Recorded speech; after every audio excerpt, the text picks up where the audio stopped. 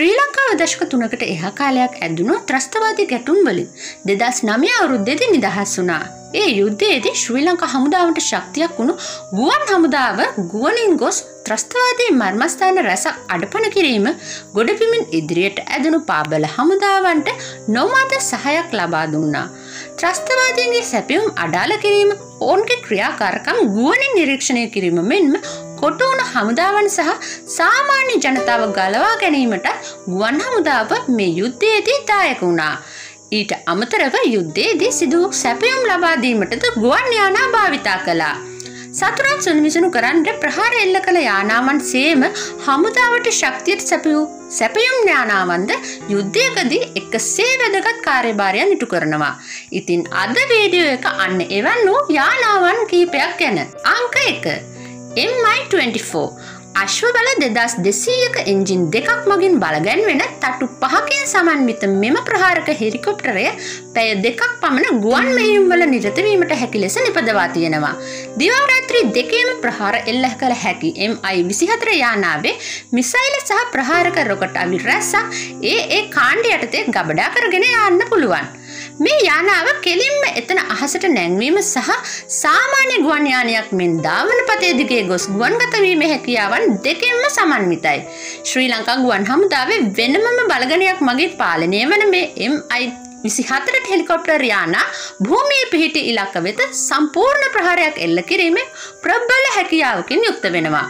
රුසියාවේදී නිෂ්පාදිත මේ එම්මයි විසිහතර හෙලිකොප්ටරේ නිර්මාතෘ මිහායිල් මිල් නැමැත්තෙත්. දෙදස් නමේ මැයි දහට වනිදා ප්‍රභාකරන්ගේ මරණයෙන් අවසන් වූ සම්පූර්ණ මානුෂික මෙහෙයුම තුළ මර්මස්ථාන දෙසිය පනාකට අධික ප්‍රමාණයක් විනාශ කරන්න එම්මයි විසිහතර හෙලිකොප්ටර් බලගනයට හැකියාව ලැබිල තිබුණා. ඒ ඔස්සේ ඉදිරියට ඇදුණු පාබල හමුදාවන්ට අහසේ ශක්තියක් වන්නට මේ ප්‍රහාරක හෙලිකොප්ටරයට හැකියාව ලැබුණා.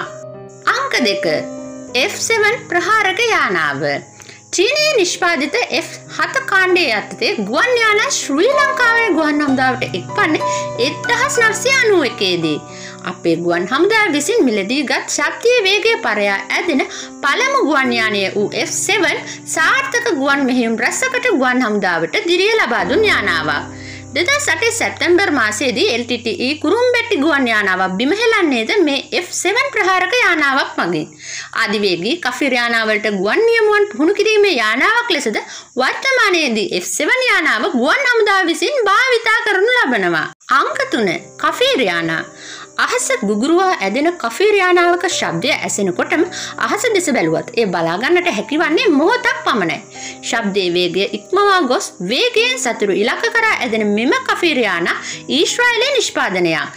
ඇමරිකාවට පවා යුද අතාක්ෂණය බෙදා දෙන ඊශ්‍රාලයේ මෙම නිෂ්පාදනය අපගේ වන්නි මෙහිම් වලදී ත්‍රස්තවාදය ශබ්දයෙන් පවා බියෙන් වෙවුල වන්නට සමත් වූ බලගතු ප්‍රහාරක යානාවක් වුණා.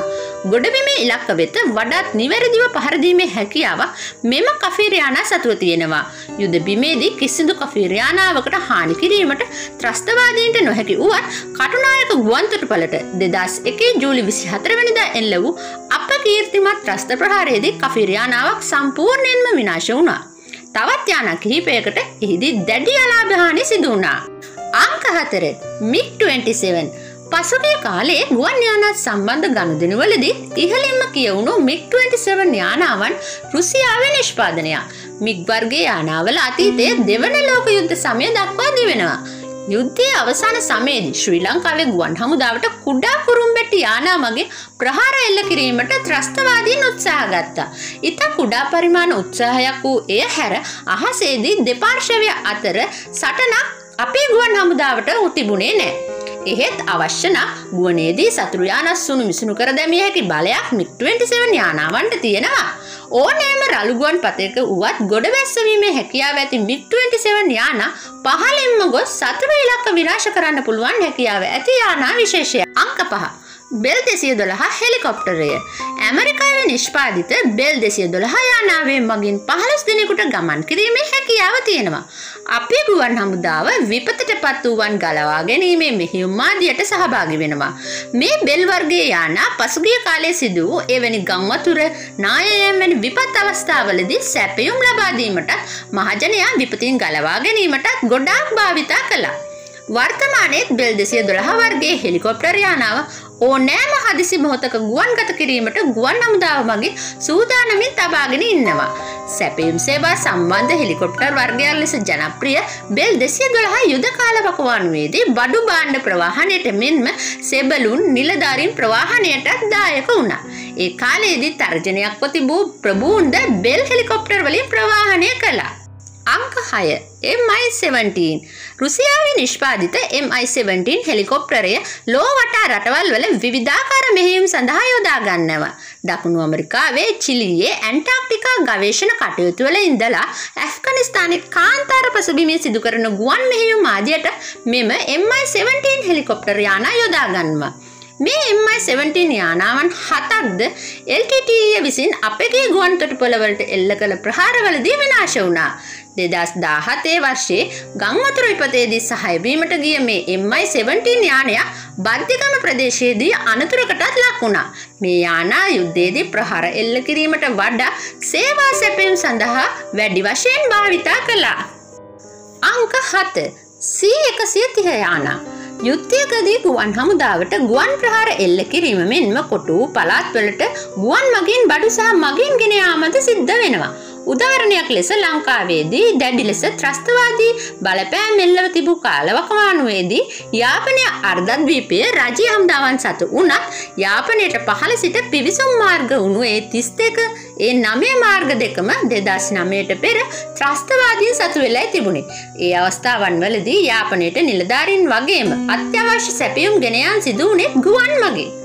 කෙටිතර ධාවන පතයක දියුණක් ගොඩ බස්සවන්න පුළුවන් ඇමරිකානු තාක්ෂණයෙන් සපිරුණු සී එකසිය තිහ යාන ඇමරිකානු හමුදාව විසින් සිය මෙහෙයුම් කටයුතු සඳහා වසර පණහත් තිස්සේ තවමත් යොදා ගන්නවා. කිලෝග්‍රෑම් දහනම්දාහකට ආසන උපරීම බරක් පටවාගෙන යාමට සී එකසිය තිහ යානාවන් සමත් වෙනවා. යුද්ධ සමයේදී සැපියුම් යානාවක් විදියට පාවිච්චි කරපු සී එකසිය තිහ යානාවන් පසුකාලීනව ජාත්‍යන්තර මෙහෙයුම් සඳහාත් භාවිතා වුණා. දෙදස් පහළ අවුරුද්දේ නේපාලයේ ඇති වූ භූමිකම්ප අවස්ථාවේදී ලංකාවෙන් මානුෂීය සහ ද්‍රව්‍යමය ආධාර රැගෙන එසැනිය සී එකසිය තිහ යානාව නේපාලය කරා නික්මුණා. ශ්‍රී ලංකාවේ මෙහෙම්වලට මෙන්ම ජාත්‍යන්ත්‍ර මෙහෙම් සහ නිරීක්ෂණ කටයුතුවලට දායක වූ ශ්‍රී ලංකා ගුවන් හමුදාව අපේ රටට මහත් වූ ආඩම්බරයක්. ගුවන් යානා නිපදවීමට නොහැකි වුණත් ගුවන් යානා නඩත්තු කටයුතු සියල්ලම පායේ ඉටු කරගෙන ඒවා යාවත්කාලීන කරගෙන තාක්ෂණයෙන් සම්පූර්ණ හමුදාවක් විදියට ඉදිරියට යාමට අපේ ගුවන් හමුදාව සමත් වෙලා තිබෙනවා. ඉන්නහසේ සිට ලක්මාතාව රකින්නට ලක්මෑනියන් වෙනුවෙන් පිනට පහළ වුණු අපේ ගුවන් හමුදා සෙබල සෙබලියන් සැමට දඟකාර මැට්ටිගේ හත පිරි උත්තමාචාරය